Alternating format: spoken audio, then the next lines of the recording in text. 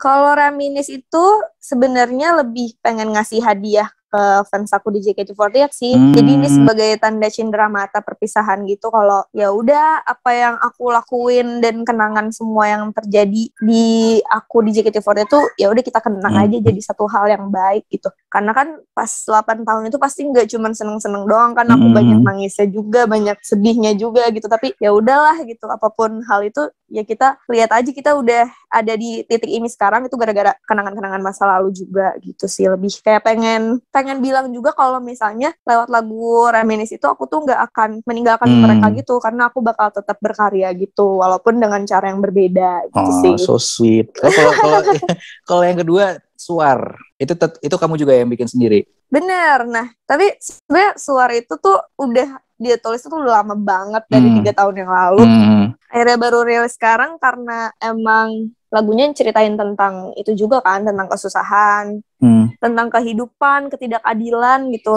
dan dibalut sama refnya tuh lirik-lirik yang lebih menyemangati gitu hmm. dan aku juga nemu lirik refnya itu dari podcast ya fans aku jadi oh, mereka gitu. tuh bikin iya bikin podcast judulnya hadiah dari matahari jadi hmm. oh kayak mikir oh ini bagus deh kayaknya untuk ngelengkapin lagu aku terus akhirnya aku bikin refnya dari situ hmm. kayak kan cuma bilang ya mau sesusah apa pun hidup kita pada akhirnya setiap pagi tuh matahari terbit matahari. juga gitu jadi iya jadi kayak ya ya lo nggak boleh kalah aja karena dunia juga bakal baik-baik aja sih sebenarnya gitu. Iya, berarti iya, lo iya, juga iya. bisa gitu. Ya kalau kalau udah mulai gelap berarti bentar lagi juga akan mulai terang lagi gitu kan. Nah, bagus bagus betul kan. Terus kamu biasanya kalau kalau bikin lagu itu inspirasi dari mana? Dari dari zaman kamu di JKT udah udah suka nulis tuh? Iya, sebenarnya awalnya emang dari JKT 48 akustik sih hmm. gara-gara uh, kita ngeluarin single hmm. pertama judulnya Lantang. Dari situ tuh udah kayak percaya diri gitu loh. Oh ternyata gue bisa ya nulis lagu. Oh ternyata gue mampu ya membuat suatu karya gitu dan bahkan pengen gue nyanyiin sendiri gitu. Jadi dari situ dari empat tahun yang lalu berarti udah mulai hmm. nulis-nulis. Nah tapi gue belum pernah bisa nulis lagu tentang cinta nih kak sebenarnya. Kenapa? Apa karena dari dari JKT48 nggak boleh pacaran tuh dari 2012 berarti?